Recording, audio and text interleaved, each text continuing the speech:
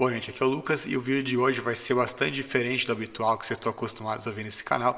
Vai ser sobre um livro que eu estou lendo ultimamente, sobre criação de crianças, o que é bastante intrigante, já que eu não tenho nenhum filho, nem tenho plano de ter um, então não sei nem porque eu estou lendo esse livro, mas de todo modo eu vou comentar sobre esse livro aqui, porque eu sei que é um assunto que pode ajudar muita gente, né?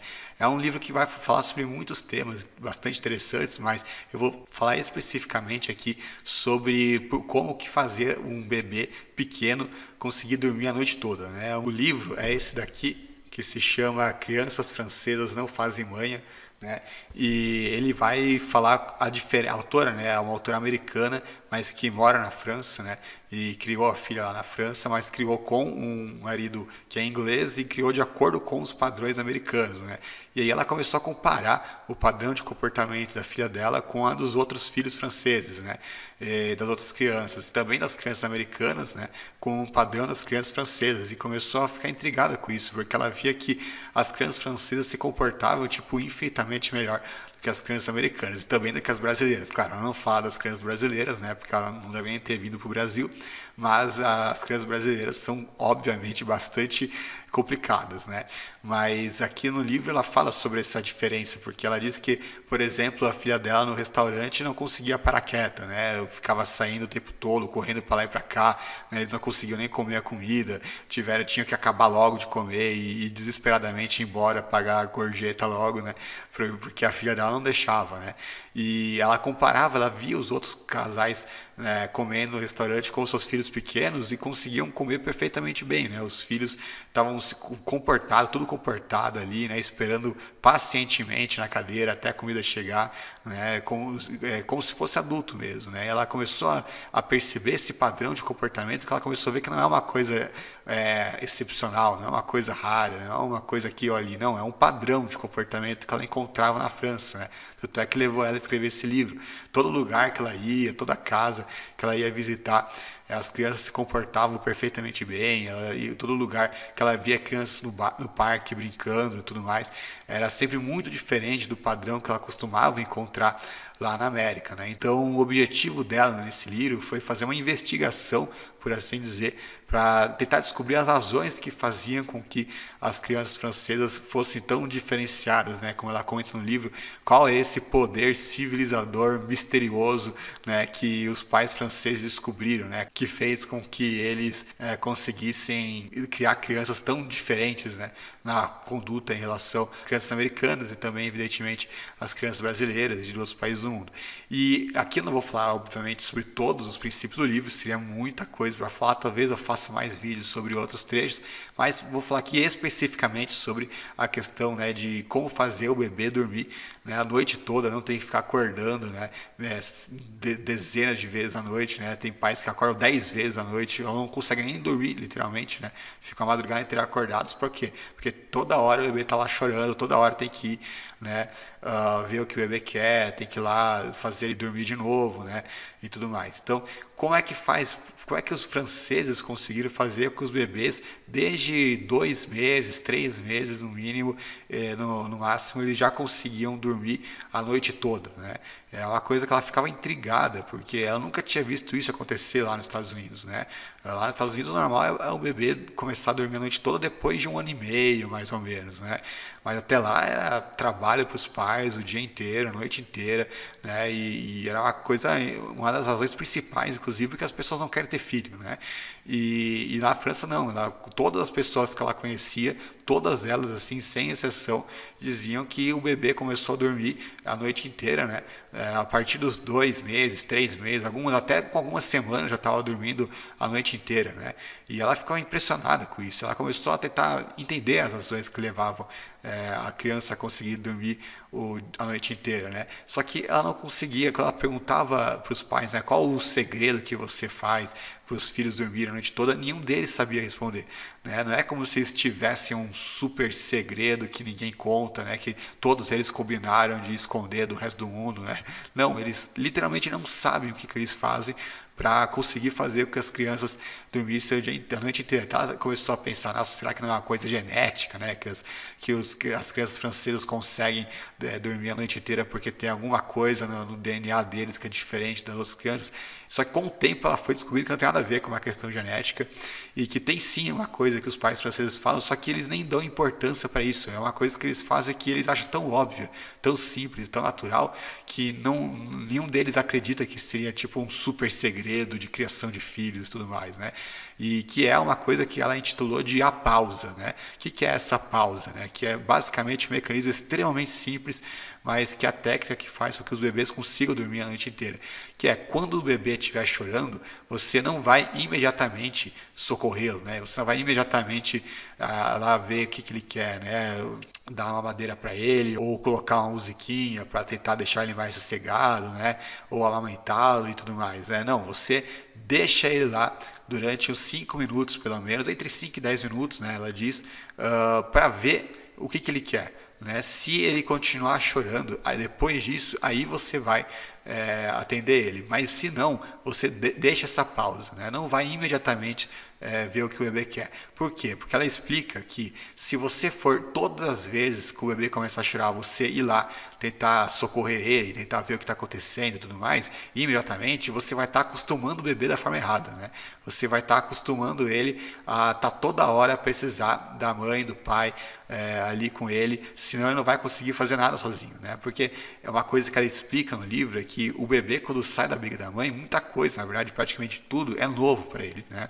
Então a questão para nós é muito natural a gente dormir porque a gente dormir sozinho, porque a gente sabe que a gente vai acordar no dia seguinte, a gente sabe que isso é um processo seguro, uma coisa natural, uma coisa simples, né? Não tem nenhum segredo, nenhum mistério nisso. Agora, para um bebê que acabou de sair da barriga da mãe, o sono é algo extremamente misterioso para ele, é uma coisa extremamente é, perturbadora, inclusive, né? Então, eles não acreditam que eles conseguem é, dormir sozinhos, né? Por isso que eles choram quando eles estão tentando dormir. É porque eles não acreditam que eles conseguiriam dormir e acordar bem no dia seguinte ou daqui a algum tempo é, sem a presença da mãe ali perto dele o tempo inteiro, né? Ou seja, ele tem essa noção de super, ele tem essa super dependência da mãe. Né? Ele acha que sem a mãe ele não consegue, né? Ele precisa da mãe o tempo inteiro ali com ele, né? Por isso que eles choram durante a noite. É uma das principais razões, não é a única, né? Mas a principal razão porque o bebê chora durante a noite, porque ele, ele não acredita que ele consegue fazer isso sozinho. Né? Então, por que, que os pais precisam dar um tempo para o bebê? Né? Justamente para que ele consiga pegar no sono sozinho e acreditar que ele consegue fazer isso sem precisar da presença contínua né, e constante ali da mãe ou do pai perto dele. Né? E tem mais uma razão também, porque eles explicam no livro que diferente de um adulto, né? Embora às vezes até um adulto, às vezes acontece isso, né? Se for um sonâmbulo e tal, mas o bebê é muito mais comum. Ele às vezes está de, é, de, olhos abertos, mas ele está dormindo ainda. Às vezes ele emite som, mas está dormindo ainda. Às vezes ele até começa a chorar, mas ele está dormindo ainda, né? A ciência já explica isso, né? Mas para um pai ou para uma mãe que não conseguem compreender isso, qualquer som que o bebê emita, qualquer primeiro sinal de choro que tiver, né? O pai já vai até ali, né? A mãe já vai até ali né, vê o bebê e aí pega no colo e tudo mais. E aí você, o bebê está dormindo ainda e você acaba acordando o bebê, né, já que o bebê está emitindo sons e você acha que ele está acordado já. E aí você pega o bebê na tentativa de fazer que ele volte a dormir, mas quando você pega o bebê, aí você está acordando ele de verdade, né? E aí você está atrapalhando o sono natural dele, né? Que às vezes nem sempre quando o bebê está é, aparentemente acordado, ele está realmente acordado. Né? Você tem que dar um tempo para ver se o problema é esse. Claro que se o bebê continuar chorando depois desses 5 a 10 minutos, aí provavelmente o problema não é a questão do sono. Né? Aí provavelmente o problema é ou porque ele está com fome, ou porque ele está com sede, ou então que precisa trocar a fralda ou alguma coisa assim. Né? Ou seja, se ele continuar chorando, você vai deixar ele chorando para sempre. Né? Se ele continuar chorando, aí sim você vai ter que ir até ele ver né, qual o problema que ele está passando. Mas você tem que deixar um tempo para ele, ele conseguir dormir sozinho. Né, para ver se o problema era esse apenas. Né? Você não vai qualquer vez que você que o bebê começar a chorar, você já imediatamente ver o bebê, porque isso vai criar uma super dependência na cabeça dele, né? Você vai treinar o cérebro dele a toda hora que ele precisar de qualquer coisinha, ele já vai estar tá chorando e toda hora o pai ou a mãe tem que ir lá ver ele, né? Ou seja, você vai estar tá ensinando ele de uma forma errada, né? Uh, de uma forma que vai torná-lo super dependente dos pais para tudo, né? até para coisas simples que ele consegue fazer sozinho, como dormir, mas que ele não acredita que é possível fazer sozinho.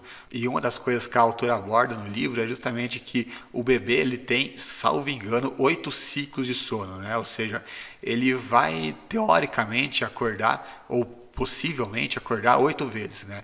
Durante a noite. A diferença é que se ele não está acostumado a dormir sozinho, quando ele estiver no meio de um desses ciclos, ele vai acordar e ele vai começar a chorar e chorar e chorar, porque ele acha que não consegue é, pegar no sono sem a presença da mãe. Né? Agora, se ele já aprendeu que ele consegue dormir sem a presença da mãe, então quando ele acordar durante a noite, ele não vai chorar. Ele não vai que, que o choro para o bebê é uma forma, apenas uma forma de, de chamar pela presença dos pais, né? É, de pedir ajuda. Né? Mas se o bebê sabe que ele consegue pegar no sono sem precisar da ajuda dos pais, então ele não vai precisar chorar. Né? A, questão é muito simples, a verdade, é bem mais simples do que parece. Né? Então, ela falou, inclusive, que com adultos acontece a mesma coisa. Todos nós temos oito ciclos de sono ao longo do dia. Então você sempre acorda durante a noite. A diferença é que muitas vezes a gente não se lembra que acordou durante a noite porque a gente simplesmente se esquece. A gente simplesmente pega no sono depois e, e se esquece que em algum momento estava meio acordado, né? O bebê não. O bebê ele, ele desperta mesmo, né? Muitas vezes, né? Só que se ele saber que ele consegue voltar a pegar no sono sem é, precisar chorar para a mãe lá, para a mãe é, colocar ele nos braços e tal, ou colocar é, uma musiquinha para ir dormir e tudo mais, ou seja, se ele sabe que ele consegue é, voltar a esse processo do sono sozinho, ele não vai precisar chorar, ele vai conseguir pegar no sono naturalmente e aí ele vai conseguir dormir, ele vai se acostumar a dormir a noite inteira. Né? Então a questão é extremamente simples, o, ou seja, os bebês acabam chorando bastante durante a noite, justamente porque os pais acabam acostumando ele a, a ser dependente dos pais para conseguir dormir. É uma coisa extremamente simples, na verdade. Né? E agora, eles explicam no livro que para isso dar certo, você tem que fazer isso logo nos primeiros meses, né? De preferência nos primeiros quatro meses, né? Ou seja, se você demora muito para colocar essa técnica em ação, vai ter mais dificuldade para fazer com que o bebê consiga dormir a noite inteira depois.